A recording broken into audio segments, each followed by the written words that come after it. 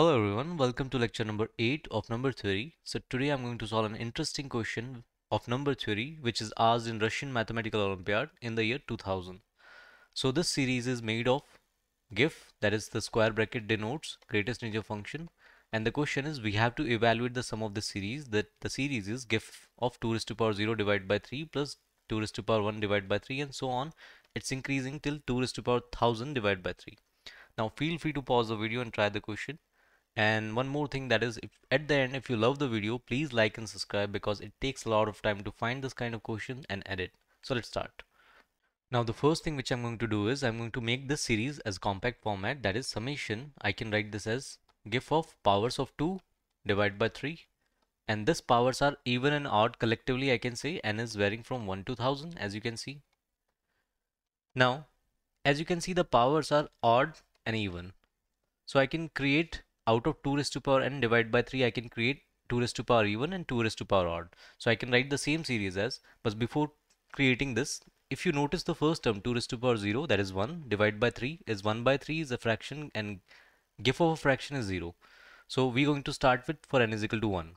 So I can write this as summation will be having GIF of 2 raised to power 2n minus 1 divided by 3.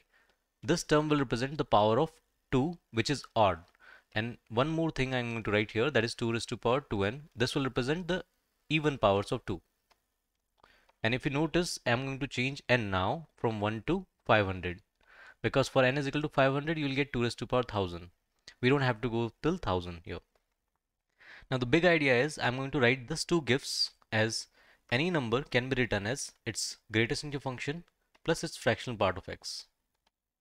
Now I'm going to write this as GIF of x as its number minus its fractional part of x. Now if I want to write the fractional part I'll be needing the remainder when 2 raised to power odd is divided by 3 and when 2 raised to power even is divided by 3. So this is the basic idea here. So I'm going to calculate for 2 raised to power x when 2 raised to power fx is divided by 3. I'm going to write the reminders. So here we'll be having two cases. Either we'll be having 2 raised to power odd or we'll be having 2 raised to power even here. So let's say for x is equal to even what happens when x is equal to even and when x is equal to odd. What are the reminders when I divide by 3? So let's say 2 raised to power I'm taking even powers. So let's say 2 raised to power 2 is 4, 2 raised to power next powers is 2 raised to power 4 is 16 and so on all the numbers. If you divide this kind of numbers by 3 the remainder will be always 1 mod 3 and when you divide 2 raised to power odd that is 2 raised to power 1 is 2 2 raised to power 3 is 8 2 raised to power 5 is 32. When you divide this kind of numbers by 3, you'll always get a same reminder that is 2. So I can write this as 2 modulo 3. Now I'm going to apply GIF of x is equal to x minus fractional part of x in the next. Now first I'm going to counter that part that is GIF of 2 raised to power odd that is 2n minus 1 divided by 3. I'm going to write this as its number 2 raised to power 2n minus 1 divided by 3 and minus will be having fractional part of x. So for fractional part of x I have two choices here. Either it will be equal to 1 by 3 or it will be equal to 2 by 3. Similarly for the next number that is greatest integer function of 2 raised to power 2n divided by 3 I'm going to write this GIF as this number 2 raised to power 2n divided by 3 minus the fractional part of x. So we have two choices either we have 1 by 3 or 2 by 3 here. Now I'll show you which choices you have to make here.